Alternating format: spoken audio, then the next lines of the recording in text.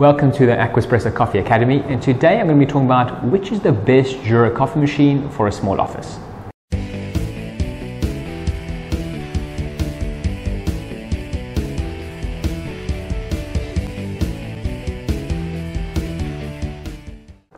Okay, so I'm assuming you've decided on Jura and you have a small office.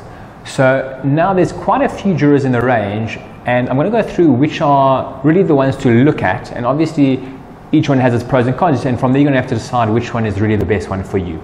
So for a small office, you really I see a lot of people looking at the ENA range and the ENA range is is really intended for domestic, uh, for home use. And I've seen some people get away with it for offices, but the reason why it's not really a great choice is because the water tanks are tiny, and water tanks being tiny, I'm talking about about a liter, um, which means maximum you can really get away with is like five cups at, at a push. Um, and the other problem is that feature-wise, especially if you want the cappuccinos and lattes, they're not really intended there. They're really great for espressos. The other ones kind of extras. They can do all the others, but they're a little bit of a pain in an office environment. So ENA range, I would suggest not looking at.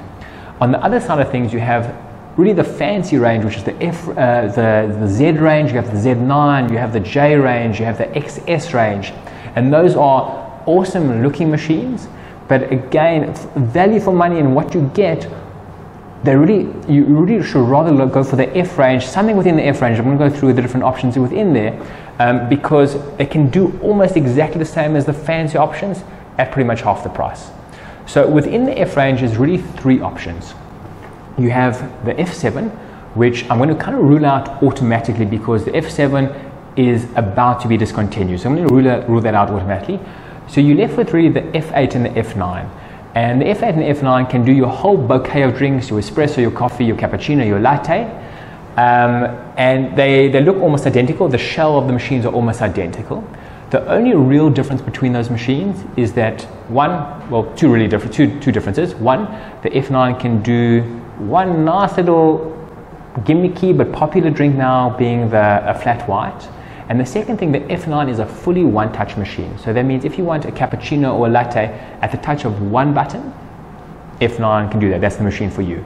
The F8 can do all those drinks, excluding the, the flat white, but it's at the touch of two buttons. So it sounds like a, an insignificant difference, and most times that is an insignificant difference, and one which I would rather then suggest going for the F8 because of. Um, but if you are having guests coming into your office and they want to now use the machine by themselves, and you don't want to kind of explain to them exactly what to do, um, the F9 is almost a must because the F8, as simple as it is, you know, being only a two touch compared to a one touch, it's not simp- uh, simple enough for first time operators. And it's going to be a, a, cause for a lot of frustration. Likewise, if you want to put in a boardroom and you want, again, first time guests, external guests, not internal in your company, external guests to use the machine, and it's most, most times the first time they're using the machine, an F9 is almost a must to go for. If those aren't your circumstances, if you don't have new people coming in to use the machine every day, I would say go for the F8. It's quite a lot cheaper. It's about 20, 10 to 20% less uh, than the F9. Um, and that really, really be my core decision with which one I would go for.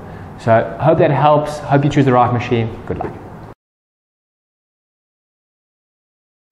Thank you so much for watching. If you found it useful and helpful and you want to learn more, please subscribe now.